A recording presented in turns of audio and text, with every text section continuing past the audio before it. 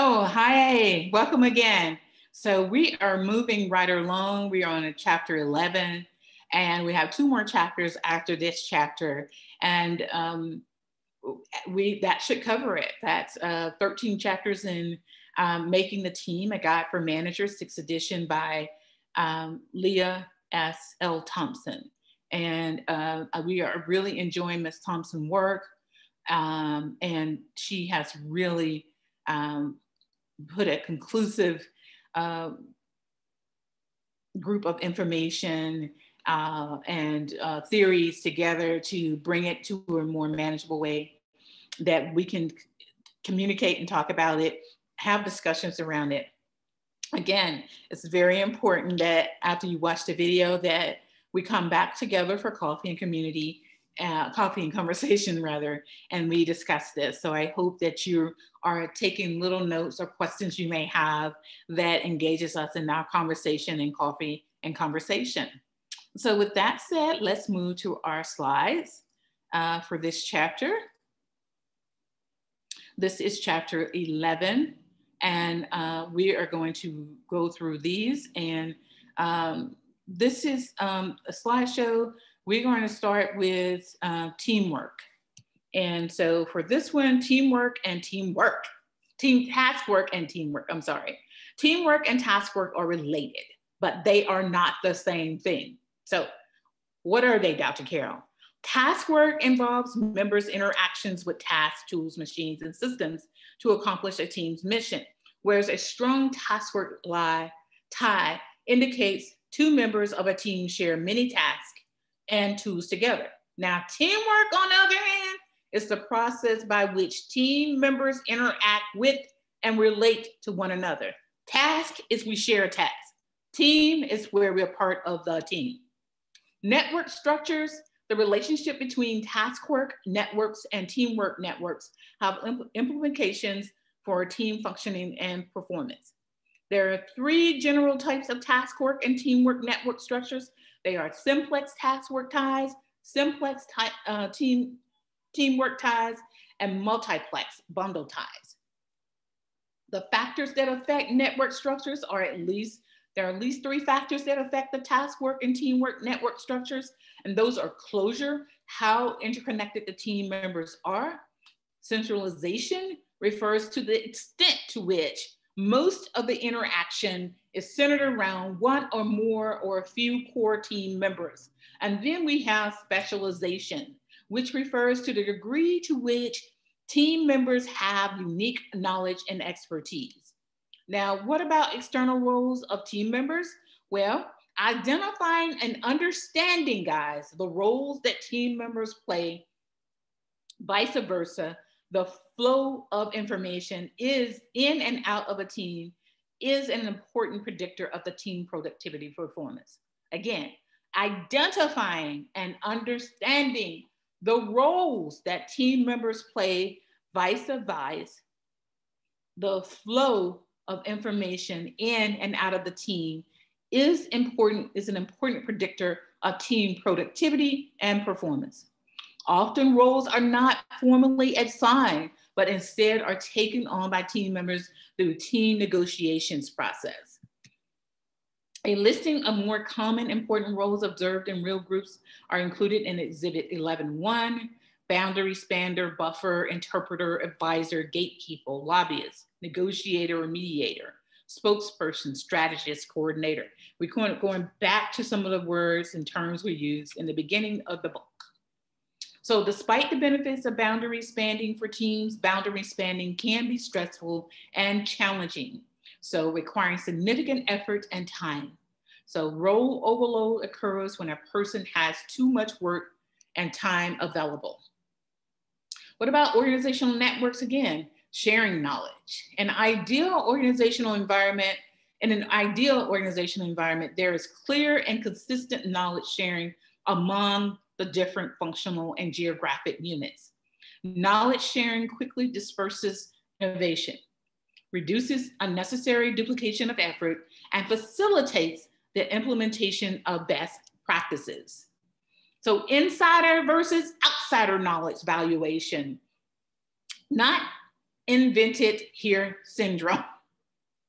members of research groups overvalue knowledge that comes from in group members or overvalue knowledge coming from their competitors. The source of knowledge makes a big difference, guys, a big difference in whether the team members feel threatened or intrigued by the information. It depends on who, it depends on who's bringing the information to you. People are more likely to value knowledge that comes from an external network source and devalue knowledge that comes from an internal member of a team. This is why we see a lot of consultants and consulting firms that are inter interacting and there because people believe what the people on the outside say versus the people on the inside. Because we're around the people on the inside, we observe them, we don't know, uh, and, and we, we, put prejudice against people. Uh, on sometimes unknowingly we do it, but we do. Here's my capital. I told you I believe in capital when we first started this uh, uh on managing teams. Human capital and social capital. So human capital is the organizational value that that intellect, uh, educated, and experienced people bring to their organization. That's human capital. Whereas social capital is the value people add to their team and organization through the ties to other people. Social capital is important. A lot of us will have human capital, but we do not have that social capital because it's hard for us to connect other people to people in the organization or bring benefits to the organization from other people we may have great contacts and resources with. And social capital is one that some people are going to get jobs and they say, I don't know how they got that job. Well, knowledge sometimes is something that can be taught about how you do something in the organization. Sometimes it doesn't matter where, where you get the education from or what education it is, it matters who you know and um, and how you can get them to give something or help us with something we need within the organization. So while human capital refers to individual ability, social capital refers to opportunities created through relationships. True statement. And relationships, guys, that matters. If you learn nothing else, I want you to remember that relationships matter. Informal systems of connections and relationship between people develop over time guide the flow of information between people and teams. Uh, perceived network, people who have an, an astute knowledge of network links that have good assessment of what people and coalitions are powerful in organizations, in that organization as well. Clique network, close-knit, self-contained network with redundant communication structures. Cliques sometimes work, sometimes they don't work. Social networks of two managers within the same company. And so we can see this. This is a manager A over here and manager B. Sorry about that. And so we can see the differences A brings and the difference uh, manager B brings. There's um, is, something. You have to look at this. So boundary spanning, boundary spanners or span organization ties and integrate, they span organizational ties, divides, and integrate the knowledge and best practices from different areas of the organization. Structural holes separate redundant social contacts in an organization, and structural holes are entrepreneurial opportunities for managers and leaders. And that is true. Um, and you're probably wondering why. Why would uh, structural holes um, be entrepreneurial opportunities? Because um, managers and leaders kind of know what's going on. They know the structure. They know kind of some, some some of them are well in the know, and this helps them to build opportunities that weren't already there because they know more about what's going on. Boundary loosening activities are activities that focus team members outside the team and organization. Boundary tightening are activities or activities that focus team members inward on the team and organization. Cliques versus entrepreneurial networks. Entrepreneurial networks, a less tightly knit group of business associations with contact in a variety of disparate organizational areas, whereas information brokers are a critical junction contact between networks of people. Advantages and disadvantages of clique and boundary spanning networks are in this particular slide. And we see um, clique networks, advantages, high cohesion, loyalty support, increased efficiency of decision making. They're all in it together. versus um, the, uh, the disadvantages of it is redundant communication, biased communication, groupthink, dispensable members. Boundary spanning networks are leverage, leverages diversity, capitalizes on opportunity. There's greater innovation, there are earlier promotions, higher salaries, and these boundary spanning networks, and greater conflict, both task and relationship, power struggles, and those are the disadvantages. Team social capital, yes. So team social capital is the configuration of team members' social relationships within two categories. There are social relationships within the group and there are social relationships in the structure of the broader organization. Now, some teams have greater social capital liquidity because their members have positions in the overall social structure of the organization. Very true. And that liquidity is something I can use to buy other information with. You see how business is such a economic equation, an ongoing economic equation. People wonder, why do I need to know econ- economics? You need to know it. Capital matter. We deal with capital every day, social, political, intellectual. We deal with all kinds of capital on a daily basis. And we need to understand the, the pros and cons of how you handle that capital. So the optimal configuration of work-related social ties uh, uh, are a moderate level of internal closure within the group and the large group of bridging relationships and other group leaders. So let's talk about friendship, trust, and advice ties. People and teams bound along three specific types of ties. There are friendship ties. They're close interpersonal ties between people characterized by positive, amicable relationship, amicable, amical, oh my gosh, uh, joint or I agree relationships. Trust ties involve both an effective social change and a cognitive reliability relationship perspective. And then there's advice ties, and that represents instrumental rather than expressive relationships and represent the exchange of expertise and information necessary to complete one's task or job. Personality and education affect network relationships, and they really do. Advice, friendship, and trust ties are all mutually exclusive. All right? There are four interplaying characteristics determine the extent to which negative relationships hurt team and organizational effectiveness. Relationship strength, reciprocity, cognition, and social distance are all four that determine characteristics to the extent to which negative relationships hurt teams. Leadership ties. Well, leader centrality performance hypothesis states that the team leader from whom subordinates seek advice tends to have a relatively comprehensive view of social structures of their team. Boundary management behavior between the team and the larger organization involves four keys relating, scouting, persuading, and empowering. And as we see on um, Exhibit 11.4, we can see team effectiveness and relating and what that means, being socially and politically aware, social and political capital here. Scouting means seeking information from managers, peers, and specialties, well, special specialists.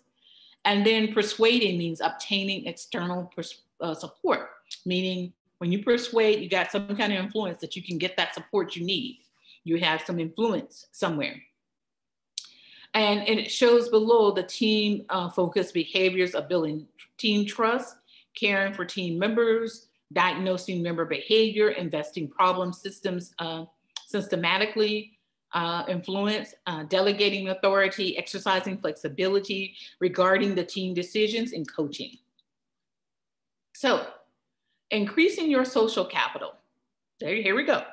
And this is important because people don't understand this. Social capital is one of the biggest soft skills that I think that we don't categorize the right way and people miss it.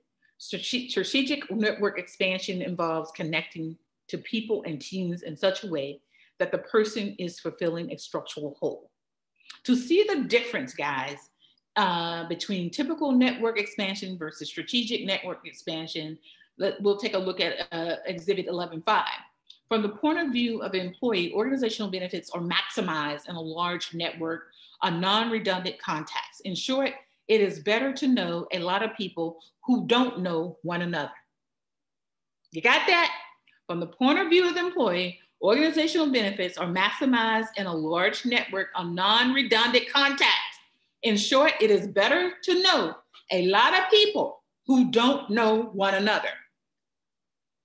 So here you go. Here's exhibit 11.5.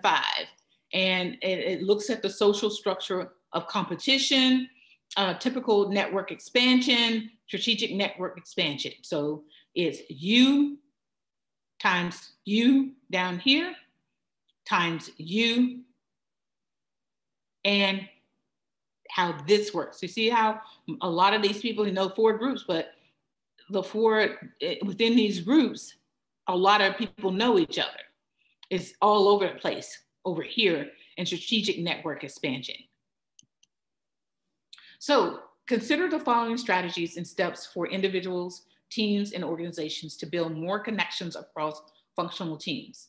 Analyze your social network, identify structural holes in your organization, expand the size of the network, diversify networks, build hierarchical networks, recognize gender strips in networks, and reputation management. There are six degrees of separation on this worksheet. I like this worksheet. I would um, take it and try to um, use it to build. And let's talk about this one in our um, coffee and conversation for this particular uh, chapter. I think we can get somewhere with this and uh, have a lot of fun with this one and doing the six degrees of separation worksheet. Um, I'd like to see you fill that out. I'll um, possibly send it to you. You fill it out and we can uh, discuss it and how you build your network. It's a very important worksheet. Um, exhibit 11.7 just talks about external, external team networking and the context of organizational uh, demography. And so we want to look at this too. And I think you'll take a look at that and it'll help you greatly. And we'll discuss this in with our activity. So bringing this chapter to a close, teams are not independent entities within the organization.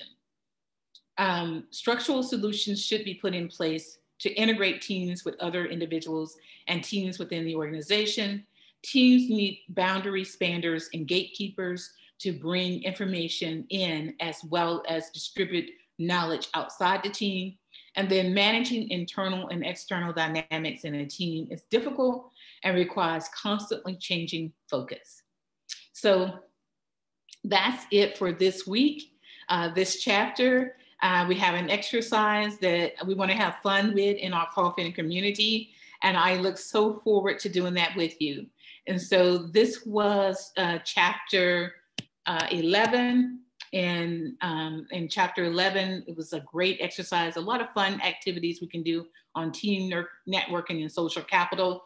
It's a great exercise too from a team networking and social capital, especially social capital's uh, perspective to do the exercise on building social capital in your organization. This is where a lot of us uh, go wrong and we need to do this in order to make the greatest impact for our careers in and outside of organizations. So we want to uh, work on that a little and make sure we're getting that done. So that's it for chapter 11. I'll see you uh, next for chapter 12. Take care.